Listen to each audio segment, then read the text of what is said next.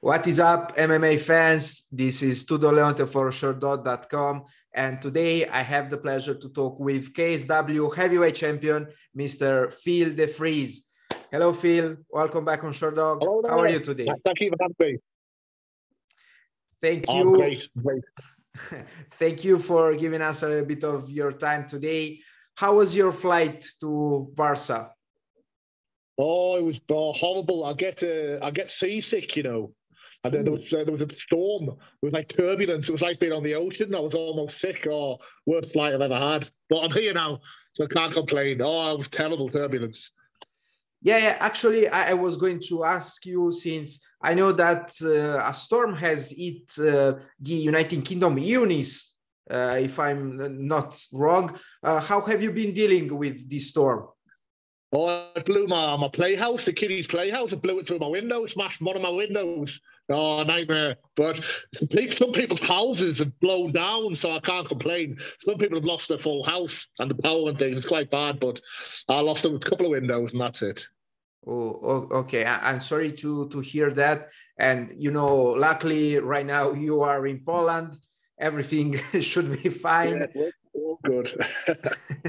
I, I saw that you brought your PS4 with you, or that you buy bought one there. Are, are you a gamer? yeah, I'll be bored without it. I've got Horizon. I bought, I bought a television as well. Sometimes it's hotel television. There's no HDMI, so I bought a television, but I don't need it. But yeah, I'd, uh, I've got Horizon, so it'll pass the time. I, I don't. I don't even have my corner here. I, I'm very uh, on fight week. I, I kind of lock myself in my room and kind of like just kind of brood about in the dark. so I've got my PlayStation. uh, who is going to be in your corner? Uh, Andrew Fisher, he's just uh, announced a fight on Bellator. He's my head coach, and uh, the other heavyweight in my gym, Michael Parkin, who's five and zero now. He's a definite prospect for the future, you know. Mm, okay. And what are you going to play? You know, while you are waiting for them. Oh, I've got the new Horizon. I've been excited for it. I've saved it. It came out on Friday, so I ordered it. So I've got Horizon. So I've just started it there. So the, the thing, thing is, the rating is fantastic. So that'll that should pass some time. Yeah, for sure, for sure. And I, I guess it's it will be, you know, it's pretty entertaining. Um, you are now scheduled to take on Darko Stosic in the main event of KSW 67 on February the 26th. Um, where have you been preparing for this fight? Uh, I've, I've, stayed at my home camp now. I used to go to top team, but uh, I'm not vaccinated, so I couldn't, I can't get to Florida anymore.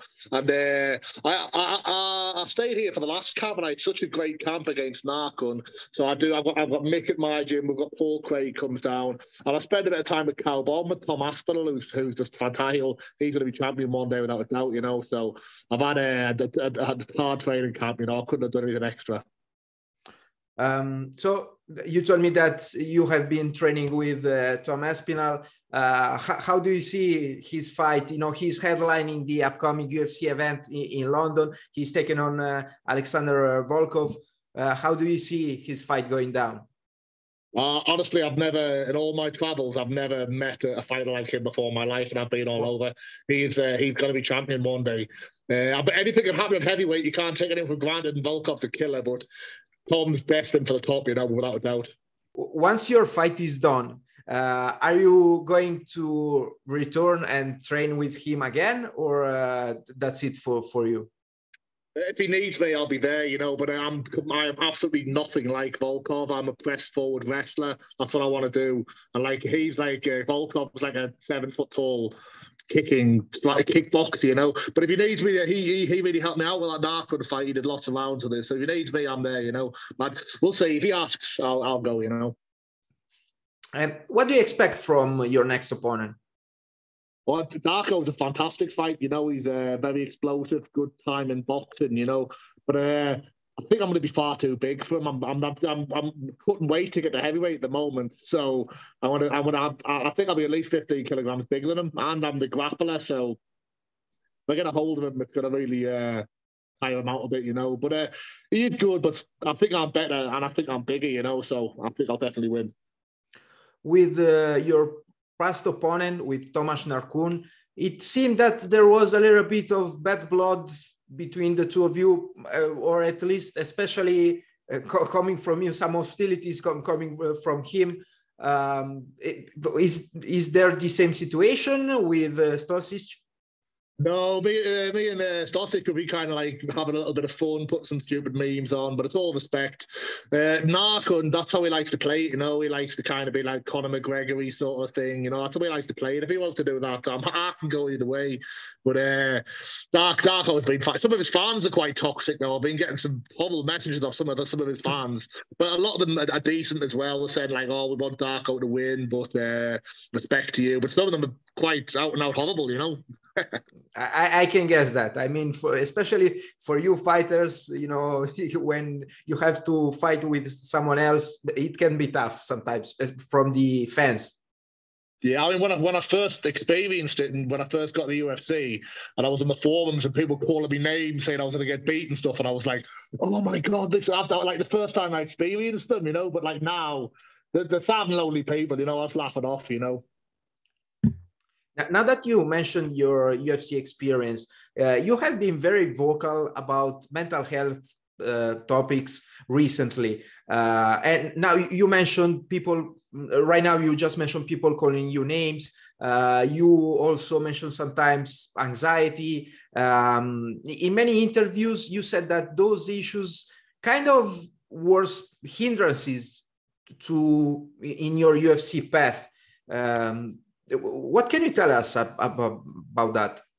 Oh, not not hindering my it ruined my entire life. You know, I, my life was hell. I was, I mean, I, I, you can't really say it now, but I, was crazy. I was insane. I couldn't, uh, I couldn't operate as a person. You know, I was like, oh. but for what? When I had to do this crazy stuff. I got, I got in my head someone was going to steal my dog, so I put a camera in my bedroom so I could look at my dog on my phone when I was out, and. Uh, I would be I would have to check check if I locked the front door like hundreds of times. I was so worried about people going to my house and like when I was fighting somebody, I would like like, oh, what if he throws a right hand? What am I going to do? And I would worry about what what what what this guy's going to do so much that I couldn't fight. You know, so look, my life, uh, the fighting was horrible, and my life was hell. But I didn't I didn't know I had anything wrong with it because I got raised with it. You know, so when, when I beat this anxiety, it was like it was like just a you, you watch of euphoria. I was like, oh my god, like normal life it's, amazing without this anxiety, you know. So it uh, it, it ruined a lot of my life, you know. It's quite sad, but I'm extremely happy now. So whatever path that it took me on, it's ended up being a nice place, you know. How did you manage to find a balance, you know, in in in your life as a human being, as a professional fighter? Uh, well, like, luckily now the fighting pays the bills, so I don't have to work, you know. And uh, I'm like a kind of stay-at-home dad to the girls, so to my two young daughters. So uh, it works perfectly, you know. So I look after the girls during the day. Then my fiance comes home and to look after them. I go to the gym, and uh, Oh, it's uh, it's great. You know, I love I love being a fighter now. It was hell with the anxiety before, but I, had like a dream job now. I mean, what well, it's, it's pretty cool. You know, when you be when you're a kid, and someone said you're going to be a fighter, you'd think that's pretty cool. uh, um, when did you stop worrying so much? You know, uh, in was there a precise moment or a precise fight where did you feel that you had to live uh, or at least to try to, to, to put the anxiety a little bit aside or to, to overcome this, this pressure coming from well, uh, fighting? I got, when I was out the UFC, I went back on the local scene and I had a bad loss in the local scene to kind of somebody I, I didn't think I should have got beat off. And I kind of hit alcoholism and I smoked loads of weed and I did loads of drugs all the time. And like for about a year, I was drinking and I got fat, and that that really spiraled the mental health problems even worse, you know. And uh, like I said, I was installing the canvas to see if the dog was there. I was checking. I was having to go home. I was like, I was I was at work and I was going, someone's stealing my dog. Someone's stealing my dog. I was like, I have to go home and check my dog's there. Then uh, obviously checking the doors, and a times getting down the street and thinking I've left the gas on, then having to go in and check it. Uh, and uh, I, I thought this is not normal. This is not like I was like, but I didn't even like I didn't even give anxiety a, a bit of thought. You know, I like I didn't really like research mental health. So I googled um, rational fear of everything, and I said, oh, anxiety. So I went to the doctor. Said I got anxiety. She put me on these pills, and I was so lucky these pills just to fix me. It takes three months for them to work, and they fixed me, you know. But I've, rec- I've recommended everyone. I speak to a lot of people messaging me all the time about how did you beat anxiety, and I've told them all about these pills, and they've gone on the pills, and it hasn't worked for them. So I'm so uh, I did a bit of therapy too, but I was so so lucky that these these pills were like like magic pills to me, you know. Well, luckily, right now you seem to be in a far more better uh, place. Uh, you are now riding an impressive eight bout winning streak. If you win the upcoming fight, you will also score your sixth title defense in KSW, which is, I believe, the all-time record. Um, and you will also have practically uh, practically cleaned up the division. Uh, what should be next next for you in case you win? Oh, um, do not look at me. I want to. I want to be quite active now. So it could be a rematch with the other guys. They could bring somebody else and maybe, maybe Pudzianowski. But um, that's what they, they can think of that. That my job is to fight. It's their job to think. of course, of course, yeah. Uh, you, you, have a you have a point here. Um, how is it for you to always fight away from home? Oh, I, I don't mind where I am. You know, I, I quite like to travel. You know, it was, uh, obviously COVID's been a real spanner in the works. Uh, KSW plan to expand. I think they've got to go to Germany. Uh, they've done shows in Ireland. So I've never been to Ireland or Germany. I, I, I want to. I want to go everywhere, you know. So, but uh, home shows are great, away's great. I love them all, you know. I, I love the I love the fight week. I love the fight now. It's great. Is there uh, are there any plans to bring KSW back to England? Well, they were going to do a London show, well, a UK show, because they did two London shows every year pre pre COVID, and now um, isolations uh, restrictions are being lifted in England. We could maybe see them there this November, or that's what they were going to do about November October time. I mean, I, am totally speculating, but that that would be wonderful for me. Yeah, yeah, for sure, for sure. Yeah, and I, I can guess that. Um, ha- have you ever felt uh, that you were the the outlander some way you know especially you being uh, an englishman coming to, to poland defeating all, all the polish guys uh, have you ever felt you know especially from the polish fight uh, fans?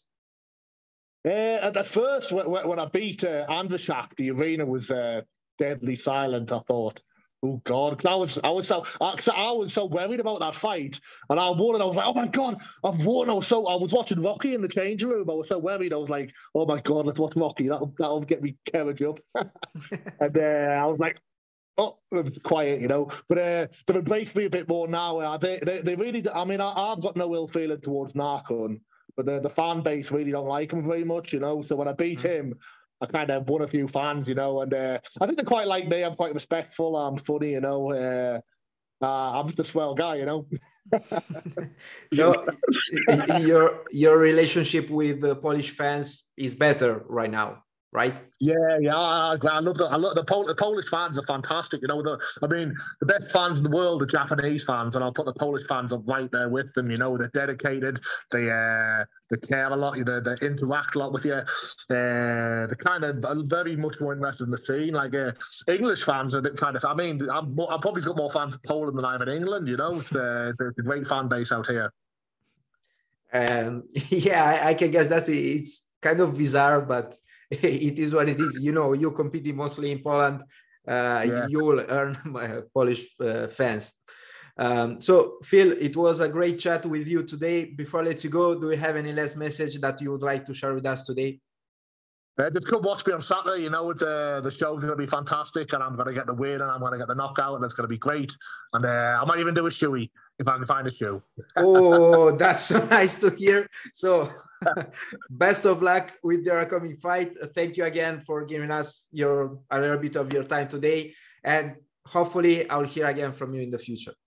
Thanks a lot, Tudor. Thanks a lot, mate. Appreciate it, man. Thank you. Have a nice day. Bye bye.